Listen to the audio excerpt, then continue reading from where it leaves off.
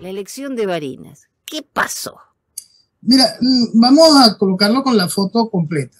Con la foto completa. Bueno, como toda elección en este país, está dentro del marco de un fraude, ¿no? Sí, eso sí. Este, Barinas tiene el valor agregado, que es el estado donde, donde lamentablemente dio luz Chávez, pues. Entonces, entonces, sobre Barinas siempre hay un, como un efecto especial. Si, si en Barinas gana un sector de la oposición, está muy mal el chavismo. Lo cierto es que lo que ganó fue chavismo, pues, porque el candidato este, Superlano, eh, viene del chavismo. Este, eh, fue pieza central en las primeras campañas de Chávez, fue muy cercano a toda la familia Chávez durante muchos años. Entonces, por supuesto, es un insigne líder opositor del Partido Voluntad Popular. Este, es el candidato aquel que protagonizó aquel escándalo en Cúcuta, donde lo encontraron en una casa de citas y al primo de él con el que andaba, este, eh, murió de una sobredosis con algún tipo de droga. Este, a él también lo drogaron con burundanga, le robaron dinero que era parte de todo el tinglado de aquel cuento de la ayuda humanitaria y la entrada y el concierto y todas aquellas cosas al principio de, de, del interinato, pues. Para más, este candidato Freddy Superlano es uno de los firmantes de aquella carta de buena conducta a eh, SAP. Oh, sí. al SAP. Entonces, bueno, esta es la joyita que pone la unidad, que pone Voluntad Popular, que pone el interinato, que pone Leopoldo López a, a la candidatura y por supuesto, la gente está asqueada ya de chavismo y los, los, los, que decidieron participar fueron suficientes porque el mismo chavista no fue a votar.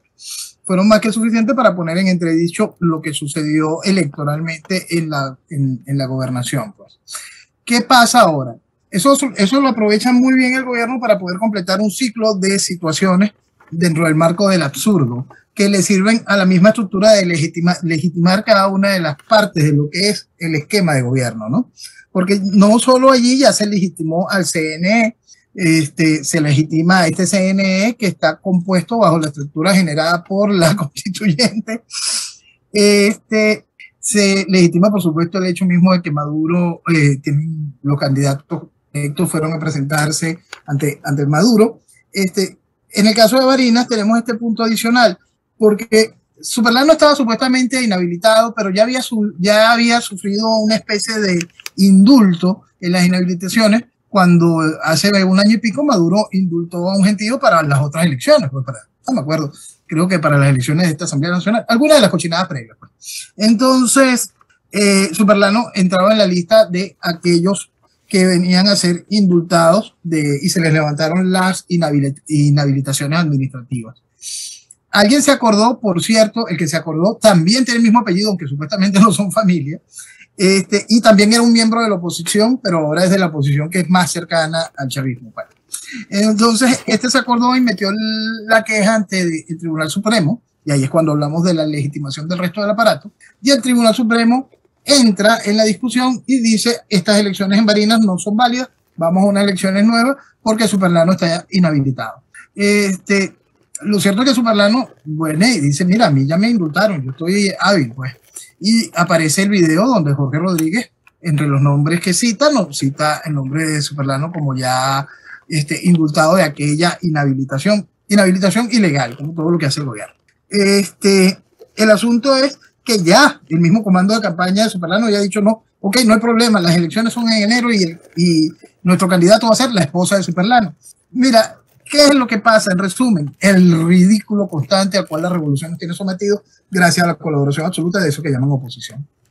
Y ahí no estaba Argenis Chávez. Ok. Argenis Chávez es uno de los hermanos de Chávez, que era el que estaba ahí de heredero de la, de la gobernación.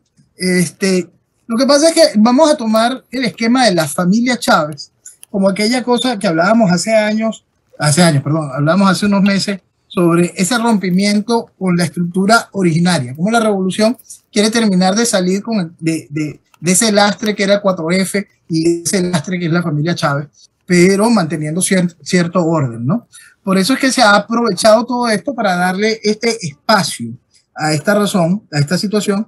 Entonces Argenis, como se da cuenta de, de, de esto y dice, no, yo no voy a permitir que se haga el ridículo con la imagen mañana este, de la familia Chávez. Entonces él mismo se va y le deja al partido, al PSV, al partido, al chavismo, que elija un candidato que vaya y haga el ridículo, pues, pero que él ya no está dispuesto a seguir haciendo el ridículo porque entendió el mensaje. Ahora sí, porque estaba un poco difícil de entender qué estaba pasando, precisamente. En realidad no está pasando nada, eso es lo más triste. Si nosotros lo ponemos bien en grande, si nosotros queremos ser bien sinceros con lo que está pasando, es parte de lo que se dice. Lo único que hay es un proceso de legitimación de todas las estructuras del Estado chavista, el electoral, el ejecutivo y el judicial. Todo dentro del marco de una acción de la Asamblea Nacional que está recién electa, donde el más alto porcentaje, por supuesto, lo tiene el chavismo. Es decir, lo que hubo fue un proceso de relegitimación de todo el aparato para completar la reinstitucionalización de la tiranía de manera democrática. ¿Y por qué entonces ahora los observadores de la Unión Europea se tuvieron que ir porque no les extendieron el visado? Eh, porque ya la misión de autenticar el, la honorabilidad de la elección ya estaba completa. Este, sí, de acuerdo al mismo, a la misma solicitud inicial de visado, por supuesto ya estaba completa, ¿no? Y cuando uno lee lo que fue el informe preliminar, que eh, que es bastante ridículo. Son las mismas repeticiones y observaciones de los anteriores, pero con el valor agregado de que según ellos, este CNE tiene muchísima más confianza que los anteriores. ah, no, claro. Ahora me quedo más tranquila. Entonces, eso es lo que ya Borrell está feliz con cada una de esas cosas. No importa las pataletas y las ridiculeces, son más parte del escenario revolucionario y, de este un gobierno que no acepta cortapisa y las payasadas naturales de este tipo de, de, ridículos. Lo que no...